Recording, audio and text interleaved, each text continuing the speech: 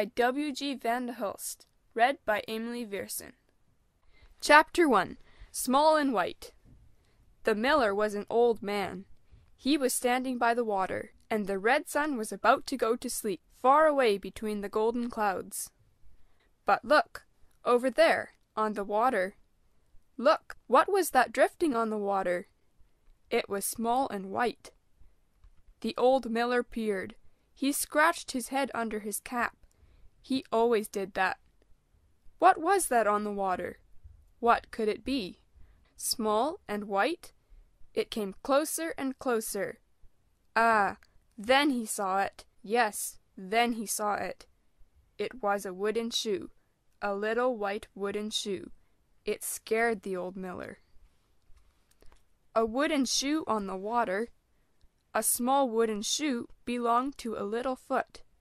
Yes, and that foot belonged to a little child. But where was that child? He did not see a child anywhere. He looked across the water and along the road. He looked along the fields. No one. It was very quiet everywhere. Night was falling. The golden clouds covered the red sun completely. It was getting dark. The little wooden shoe on the water drifted on like a little white boat on a dark sea. Soon it would drift by. But the old miller did not want that to happen. He fetched a long stick and reached it out over the water. He stabbed at the wooden shoe. Missed. Splash! Stabbed again. He had it. The little white wooden shoe flew through the air and landed in the grass. The miller picked it up and looked at it. He scratched his head again. It sure was a little thing. It had to belong to a very little foot, a very little child.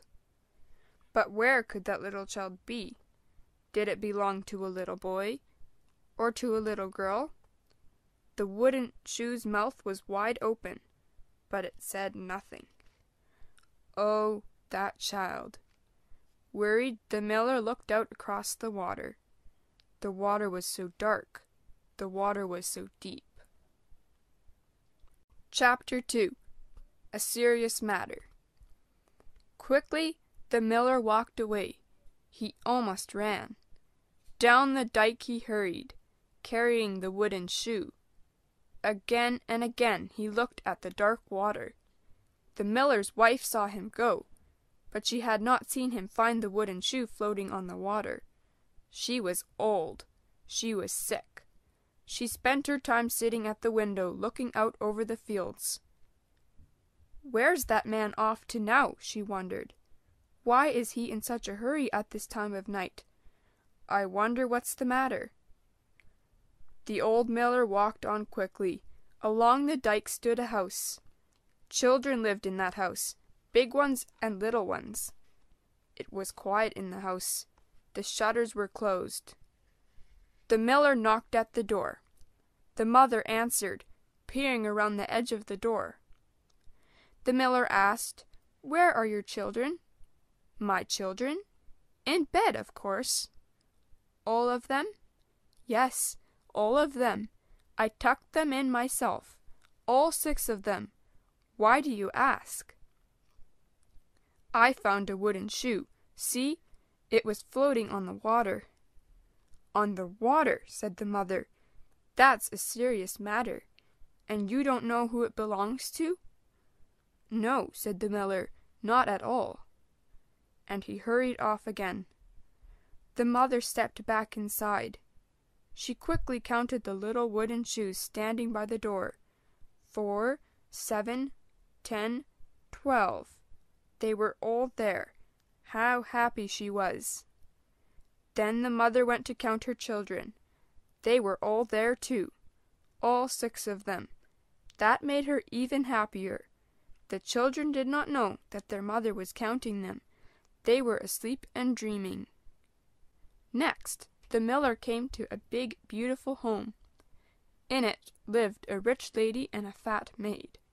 But the lady never wore wooden shoes, and the fat maid had big wooden shoes that she wore when she scrubbed the steps of the big house. No, the little wooden shoe had not come from that house. The miller scratched his head and hurried on. Next he came to a shoemaker's house. Clop, clop, clop, clop, went a hammer. The light from the lamp above the shoemaker's table shone through the window. The shoemaker had a daughter. But no, of course not. Shoemakers' children don't wear wooden shoes. So the old miller went on. Next he came to a farmer's house. The farmer had three sons, strong boys, but there were no little wooden shoes at that farm. In the grass along the road sat a tramp. He was tired. Hi there, said the tramp. Good evening, said the miller. Have you seen a little child around here? A little girl? A little boy? Oh, sure, hundreds of them, said the tramp. Over there in the village, but they have all been called in and put to bed. One little girl brought me a sandwich. Looks good, doesn't it? There was a little boy sitting on the steps of the church. He was crying. Why? I don't know. Was he wearing two wooden shoes? I don't remember. I'm tired. A farmer is letting me sleep in his haystack tonight. Good night. Good night, said the miller. He forgot about the tramp. He looked at the little wooden shoe. He looked down the road toward the village. He looked at the dark water. Then he pushed back his cap and scratched his head. The poor child! Where could it be? Was it a boy? Was it a girl? He trudged on. A big frown was on his forehead. His eyes looked worried. The quiet water flowed by slowly, as usual. The water was so dark. The water was so deep. Chapter 3 Foolish Little Rascals Ah, a policeman was coming. Policemen usually knew what was going on. Oh, he turned down a side road. Hold it, officer! shouted the old miller. He waved the little wooden shoe in the air. Wait a minute, officer! The policeman jumped off his bicycle and waited. The miller hurried over and said, Look at this! I fished it out of the water, but I do not know whose it is. Well, well, muttered the policeman. Well, well. That doesn't look so good. It was floating on the water? What if the child wearing the wooden shoe Right, right, nodded the miller. If the child fell into the water too, and if only the wooden shoe drifted off. Well, well, muttered the policeman again. Well, well, those foolish little rascals. Why would they play by the water anyway? It doesn't look good. But why don't you go back home now? I'll look after it. I'll ask around in the village. The policeman jumped back on his bicycle. The miller trudged back toward his windmill. He took the wooden shoe with him. Again and again he looked at the still, dark water, but the water told him nothing. It just flowed along slowly. The moon shone that night. The dark windmill stood still, dreaming. Its arms hung, like a big black cross in the silver light of the moon. The windmill's owner, the old miller, lay in bed. He was dreaming too. He saw many, many children playing right by the edge of the water. Looking down from a window high in the mill, he shook his fist at them and called, You foolish little rascals! What are you doing playing by the water? It's deep there, and very dangerous. Get away from there! Get away! Right now! Watch out! Here I come!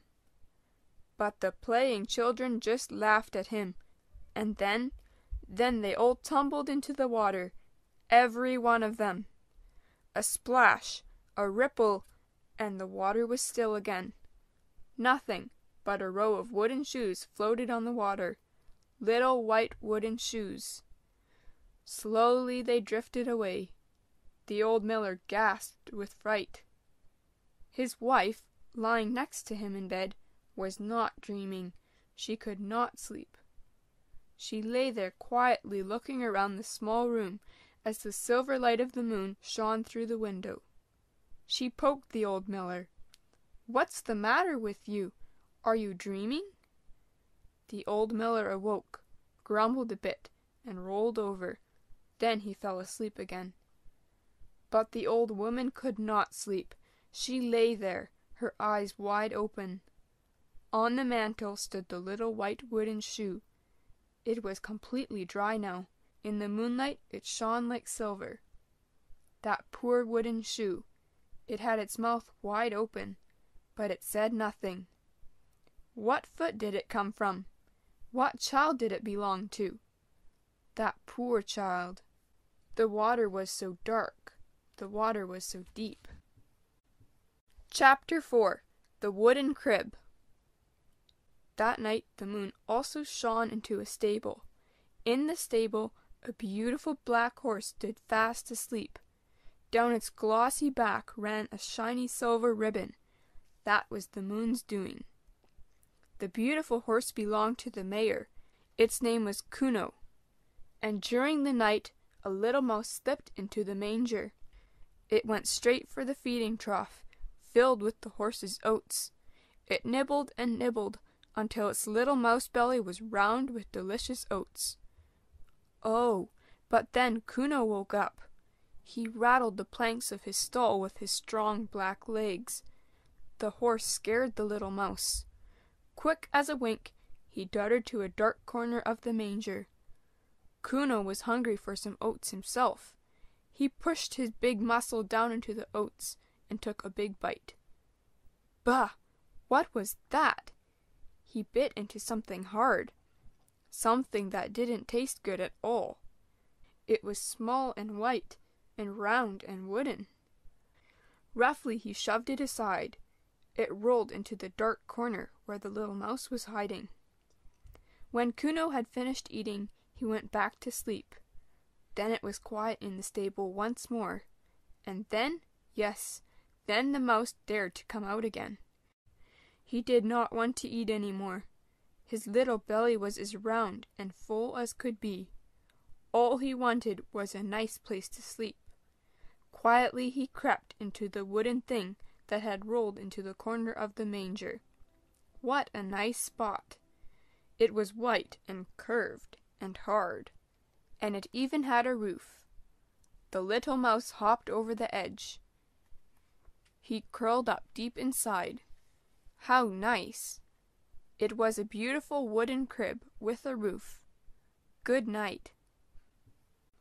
His little white crib was really a wooden shoe, but the little mouse did not know that. It belonged on someone's foot, on the foot of a little child, but he did not know that either. And yes, it was the twin of the wooden shoe standing on a mantel in the windmill. The mouse did not know that at all. Who would have guessed it? Chapter 5 Identical Twins It became morning. The whole village woke up. Then all the children went back outside to play, and all the fathers and mothers began to work. And then the policeman began to look again and ask around. He went everywhere but no one knew anything about the wooden shoe that had floated on the water. Well, well, the policeman muttered. Strange. I don't understand it. Maybe Sinterklaas left it behind. All the mothers counted their children. The teachers at school counted the children too. Good. No one was missing. How strange. It became afternoon. The old miller set the arms of his windmill turning merrily in the sky. His wife sat by the window again, looking out over the fields. The wooden shoe stood on the mantel, all alone. And then the policeman walked in. Well, well, he said. Well, well, look what I have here. He put a little white wooden shoe on the table. Now there were two of them and they were exactly the same size. Well, well, look at that. The old woman stared with wide eyes. Another one? Another wooden shoe? The old miller stared too. He scratched his head even harder than usual. Another wooden shoe? One with a long, thin string tied to it? The little wooden shoe's mouth was wide open, but it said nothing. It was just as big, just as round, and just as white as the one on the mantel. All three of them stared at the wooden shoes. They all shook their heads. Strange, said the policeman. Strange. The old woman asked, Was this wooden shoe floating on the water too? My, my! Two wooden shoes from two little feet? Poor child! No, no, said the policeman. Not at all. It hasn't been in the water at all. It's as dry as can be. Just feel it. It was found in the mayor's stable, in the manger with the oats. The mayor found it when he went riding on Kuno. He gave it to me. How can that be? muttered the old miller. He scratched his head again. How could the one wooden shoe end up floating on the water at night, while the other wooden shoe ended up in the mayor's stable? They belonged together. They were twins. He put the wooden shoe with the other one on the mantel. The long string hung down between them. How can that be? And no one knows whose they are. We've never had wooden shoes standing on our mantel before, and now suddenly there are two. The old miller scratched his head with both hands at the same time. It sure is strange, the policeman said. My, my, said the old woman. My, my. And they're such pretty wooden shoes. They must belong to some nice little child. And the wooden shoes? They stood neatly beside each other on the mantel, the one just as round and just as white as the other. Both had their mouths wide open, but they said nothing. Chapter 6 Little Henry A young boy sat at his desk in school. His name was Henry. The teacher said, Henry, you are not looking in your book. You are daydreaming. Henry, pay attention or you will have to stay after school. Henry's face turned red. Quickly he put his finger at the place where the class was reading. Earlier that morning, Henry had turned red too. The teacher had counted the students that morning. She had said, Good, you're all here. Perhaps you heard that a small wooden shoe was found, floating on the water by the windmill. That wooden shoe may belong to some boy or girl who was playing by the water and fell in. Oh, that would be terrible. But no one is missing a child, and no one knows whose wooden shoe it is. No one? Henry's cheeks burned. He ducked down so no one would see him. Would the teacher have seen him blush after all? That horrible wooden shoe! He couldn't get that wooden shoe out of his mind.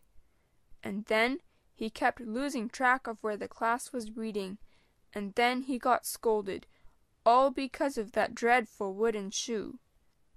Yes, but it really was his own fault. If only he had not done it! What if the teacher found out? What if his father found out? What if his mother found out? What if little Lydia found out? What if that policeman who sometimes looks so grouchy found out? The policeman was looking everywhere. Henry had seen him that morning. He had heard the policeman mutter, It sure is strange. That had been enough to make Henry blush again. He had quickly run away. Yes, and now? What would happen now? What would happen when mother came back? And little Lydia? Oh, if mother would start looking, what then? If mother heard about the wooden shoe floating on the water by the windmill, oh, what then? What then? Henry again lost the place where the class was reading. His finger was lost on the page. It pointed at the wrong word. The teacher saw him. She got even angrier than before. Henry, you are dreaming again. You will have to stay after school. At last it was four o'clock. The children were happy to go home, but Henry had to stay in school.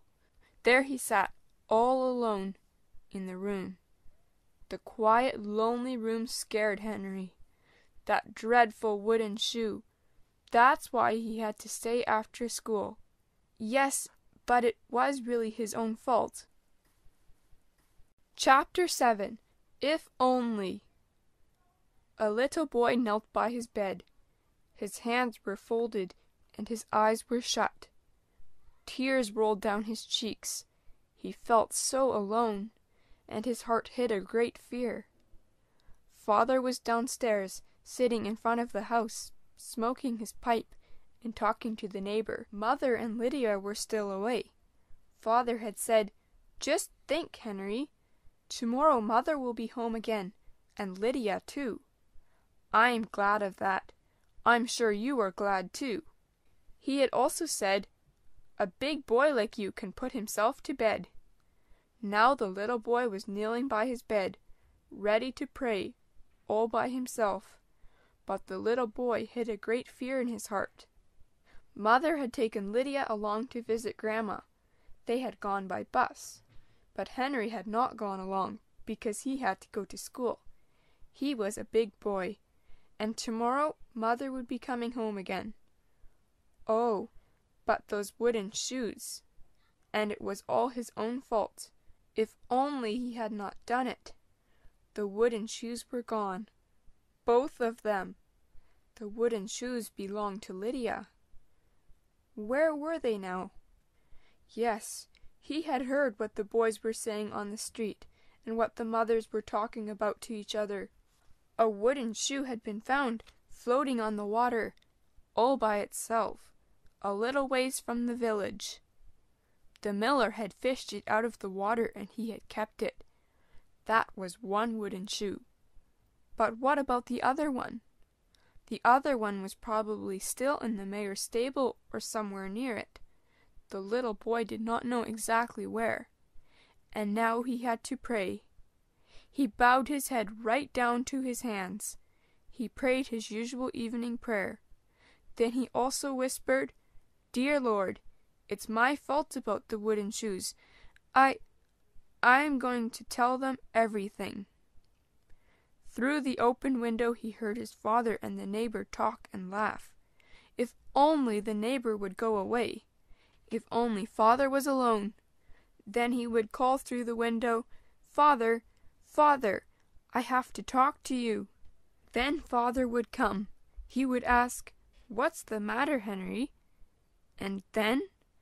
Then Henry would tell him everything. That would be very hard. Henry was afraid. Those two beautiful wooden shoes were missing, and he had done it.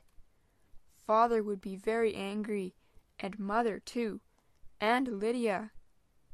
Maybe he should not tell after all. No one would know what he had done. No one had seen him. No one? God in heaven had seen him. He saw everything. He knew everything. Yes, Henry would have to tell he had promised in his prayer.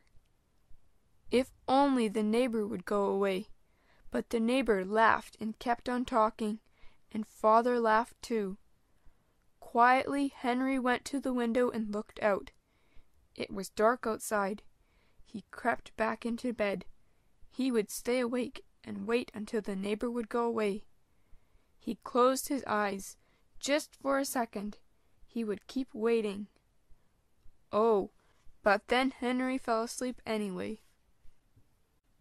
Chapter 8 The Grumpy Mayor And the next morning, when Henry came downstairs, Father had already left for work.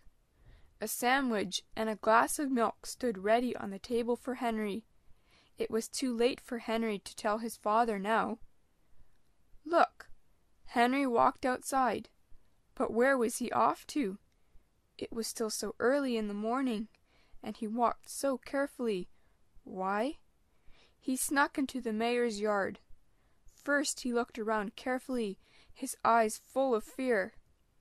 At the back of the mayor's yard was the stable. But Henry knew he was not allowed to enter the mayor's yard, and certainly not the mayor's stable. If the mayor would see him, but he sneaked in anyway, very fearfully, very carefully, very quietly. His heart beat wildly, but he walked on. He walked on tiptoes, taking long, careful steps. He was close to the stable now. He searched in the grass. He searched in the bushes.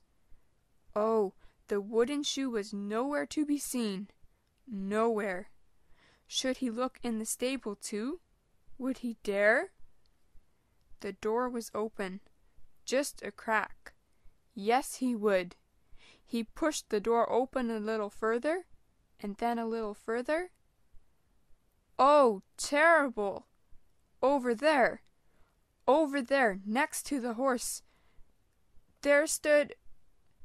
Henry's heart jumped with fright, his knees almost buckled. There stood the mayor himself. He wore his riding clothes, and his riding whip was in his hand. He was going to take Kuno for an early morning ride. He heard the door squeak. The mayor turned around. He saw the boy and called, Who? What are you doing here? The frightened little boy stammered, I, I, I. He tried again. I, I, I. I, I what? Speak up. What are you doing in the stable? Uh, I am looking for the wooden shoe. Lydia's wooden shoe. The wooden shoe? You little rascal. Then you've been in the stable before. Yes. No. I. What is it? Yes or no? You're not allowed in here. It's dangerous. Speak up. What happened? Tell me, right now. And then Henry had to tell the whole story, not to his father, and not to his mother, but to the mayor, the stern mayor with the scowl on his face. Poor Henry! His legs shook and his hands trembled, but he had to tell. He said, I, I, I wanted to sail the wooden shoes on the water. I tied a string to them. Then I had two wooden shoes on a string, two boats. They floated on the water, and I held on to the string. Does your mother let you do that? N no, no, I did it without her knowing. And then? Then I wanted to put two little sticks in them for masts, but the string came loose, and one of the shoes drifted away, and it was Lydia's. Yes, and then go on. That scared me so, and then I ran into your yard to look for a stick to get the wooden shoe back, and then Henry could not go on. He started to cry. But the mayor said gruffly, Don't cry. Go on with your story. Come on. And then, and then you came, and you scared me, so I hid in the stable. But then you came into the stable, too. So, you little spy, I didn't see you there. Where were you? I, I was hiding. Yes, but where were you hiding? In the manger by the oats. You didn't see me. The mayor couldn't help but laugh to himself, but he did not want the boy to see him laugh, so he bit his lip. And the other wooden shoe the one with the string, what happened to it? Henry wiped his tears away. Then he sobbed, I put it in my pocket, but I lost it somehow. I don't have it any more, and now I can't find it. So, and now you've come back to the stable. But you know better. You're not allowed in here. Never.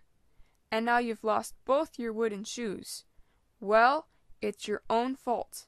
Now get out of here, out of the stable, out of my yard, and watch out if I ever catch you here again. And then? Oh, that poor little boy! He ran out of the stable, out of the yard, down the road. He sobbed with fear and grief, and he still did not have either one of the wooden shoes. What would happen when mother came home? When father heard about it? He still had not told father. Oh, that stern mayor! But the little boy did not know that the mayor was watching him through the little window of the stable. Nor did he know that the mayor, that stern mayor, had a jolly smile on his face. Henry would never even have dreamed it. He was so frightened and so very sad. Chapter 9 Chapter 9 A Secret Kuno, the big black horse, was happy. He was just as happy as his well dressed master. Together they rode out in the early morning air. All the birds sang. Kuno pranced and neighed and threw back his big black head. White foam dripped from his mouth. What do you say? Shall we go fast this time? Really fast? All out? I sure feel like it. Here we go. They galloped toward the windmill. The arms of the windmill were already turning. The old miller's wife was sitting at the window, looking out over the fields. But then she saw the mayor coming, on horseback. She cried out, Albert! Albert! Here comes the mayor! The mayor tied his horse to a tree. Wait here, Kuno. Old Albert, the miller, came out to meet him. Together they stepped inside. The mayor laughed merrily when he saw the two wooden shoes, the two twins, standing next to each other on the mantel. From one of them dangled a string. There they are, both of them! Ha ha ha! Then he said to the old miller and his wife, Listen, I have come here to tell you something. It's my birthday on Saturday. Listen carefully to my idea. The three sat down at the table the mayor, the miller, and his old wife. They put their heads close together. The mayor whispered. He had a secret plan. Yes, yes, that's a good idea, Mr. Mayor. I'll take care of it, the old miller said and he scratched his head with delight. Yes, yes, wonderful, Mr. Mayor, the old miller's wife said. I'll be glad to help. She could have danced with delight, but her old legs were too stiff. Yes, yes, won't Saturday be a great day? The mayor laughed. Ha ha, there they stand, two wooden shoes, two little boats. Ha ha ha, the little rascal. Once again the mayor mounted his eager horse. Kuno pranced and neighed and snorted. He was having a great time, even though he knew nothing of the mayor's secret. He was happy because the sun shone and the birds sang, and because he was strong and ate lots of oats. He always enjoyed a good hard gallop, too. The old miller stood in the doorway. He was so delighted that he scratched his head with both his hands. His old wife sat at the window again. This time she was not looking out over the fields. She was watching the mayor. She watched him until he was out of sight. Softly she said to herself, A good man, a fine man.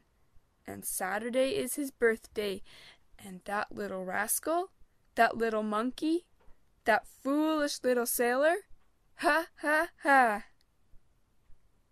That day was a very busy day at the mill. The old miller took a sack of flour out of the barn.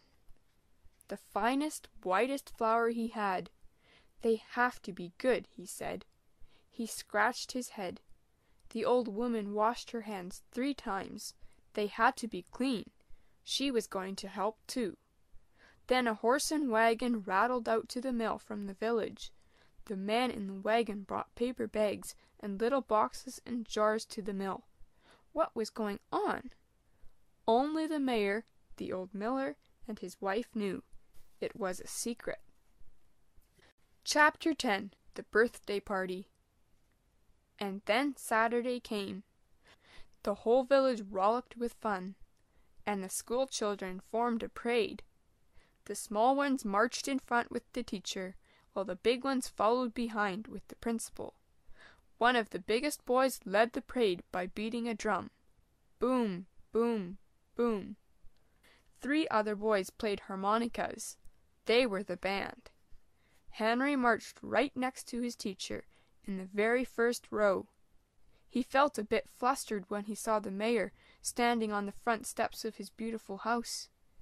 The mayor looked at the happy children and smiled. The happy children looked at him and smiled back.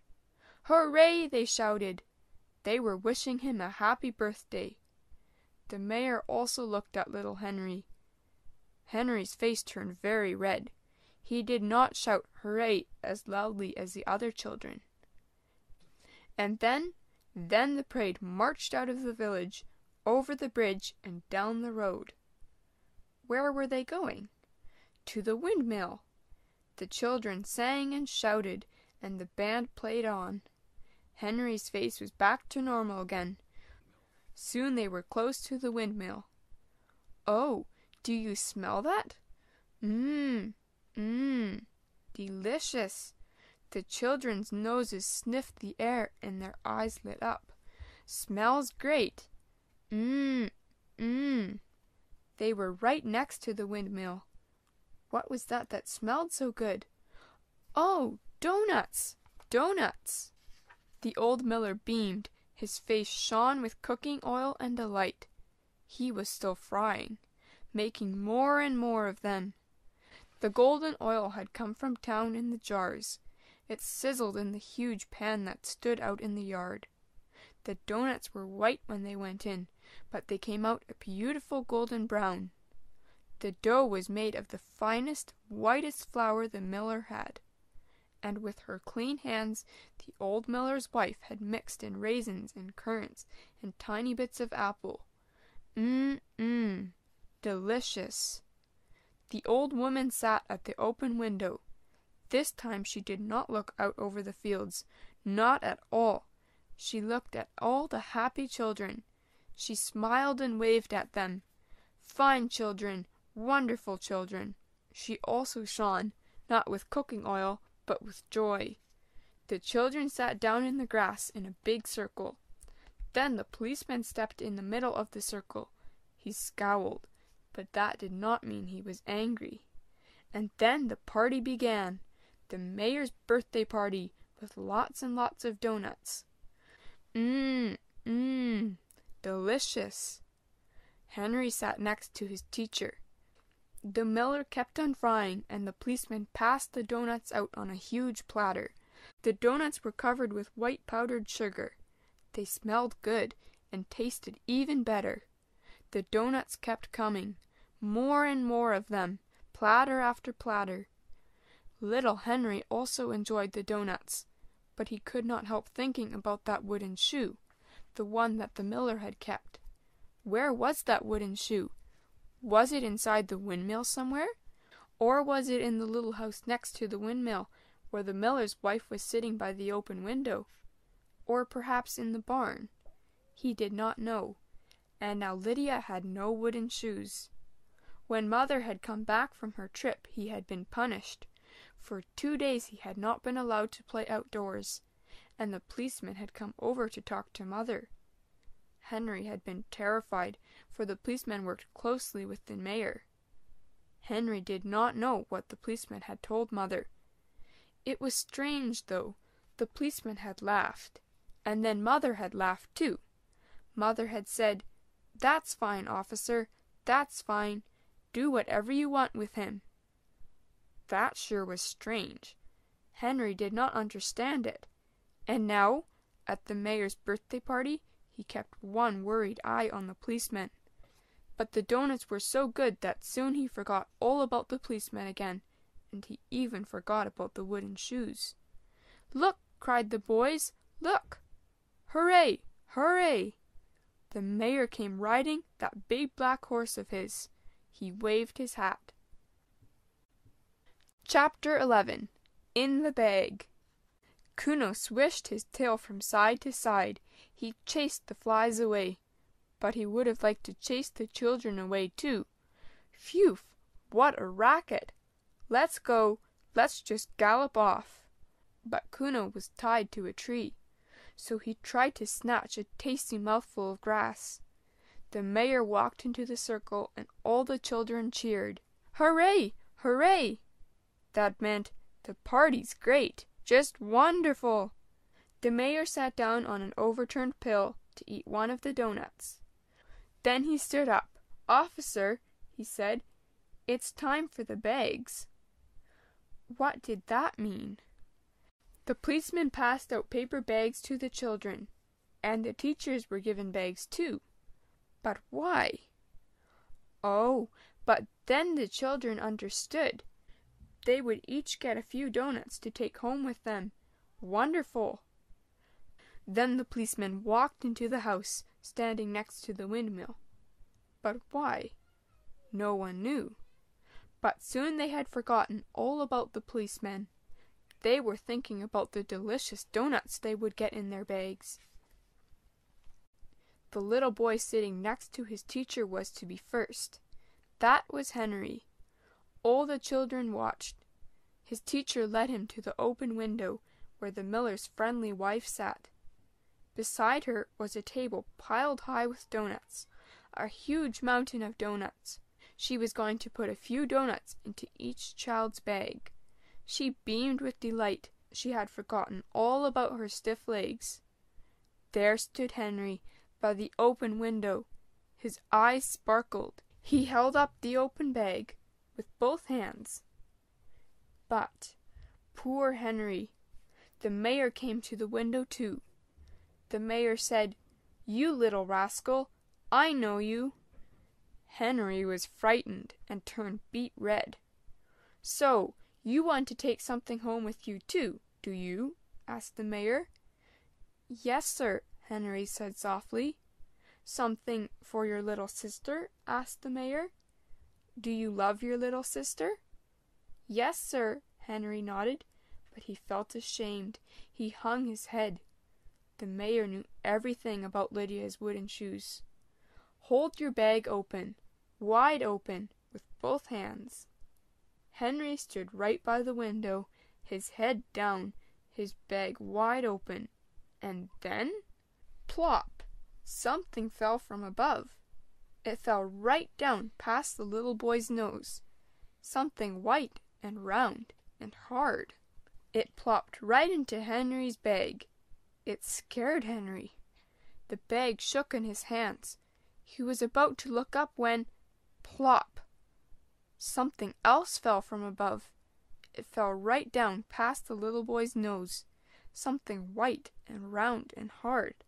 It landed in his bag, right on top of the other one. Poor startled Henry! The bag slipped out of his hands and fell down at his feet. With those two white, round, hard things inside, the bag flopped shut.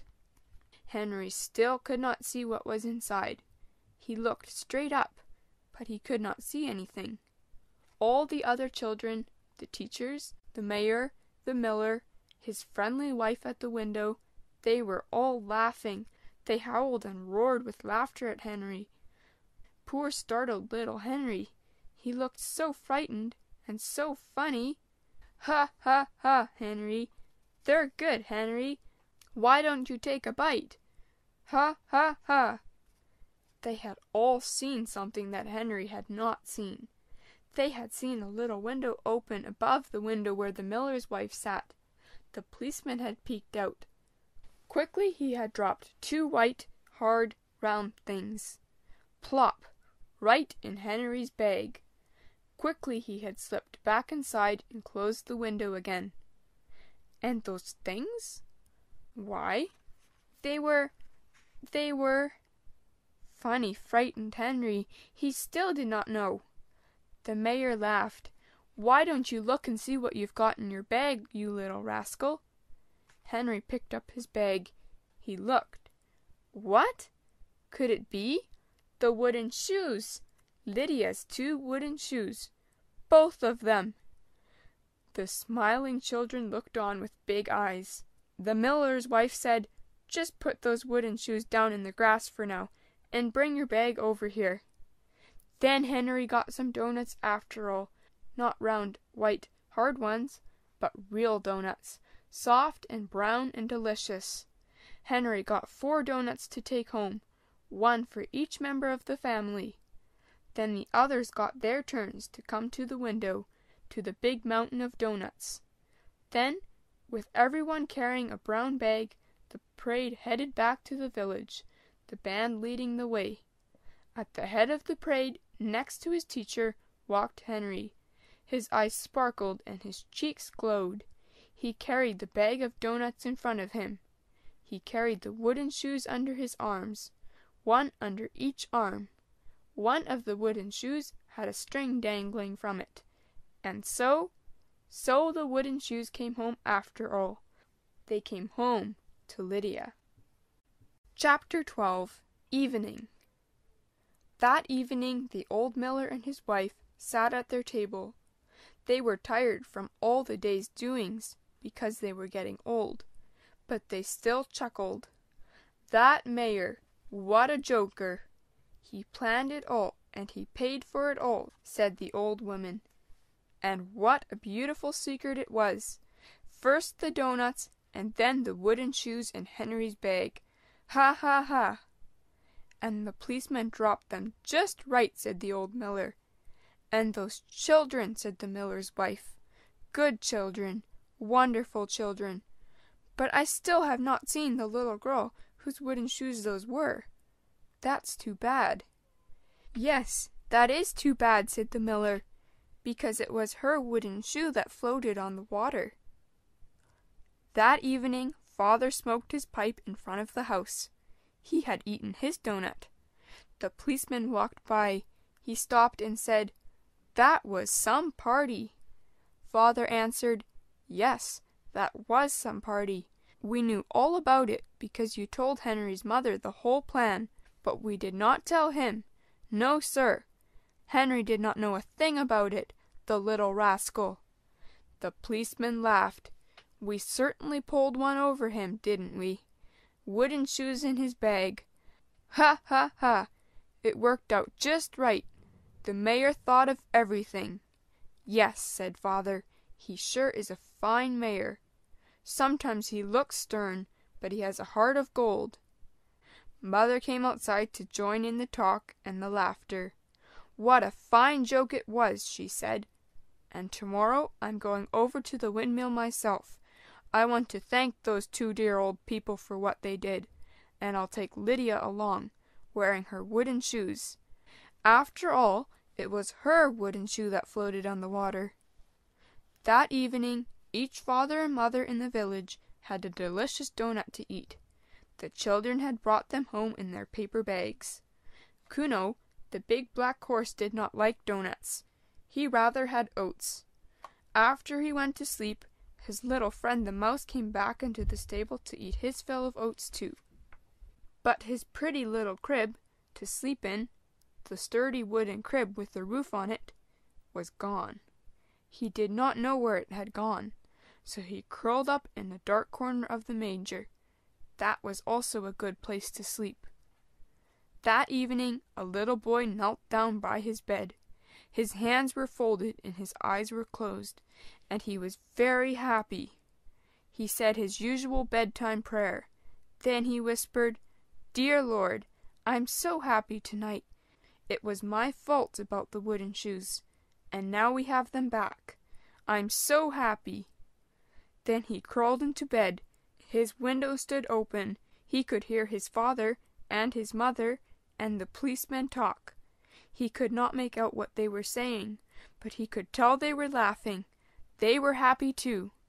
They were not angry at him any more, and he was not afraid of the mayor any more. All the fear was gone from his heart. He snuggled down deep under his blankets. Would he sail again? Would he sell Lydia's wooden shoes again? No, never again. Before long he was asleep. Then once more, but only for a moment, he saw the wooden shoe float on the water. But this time it was only a dream.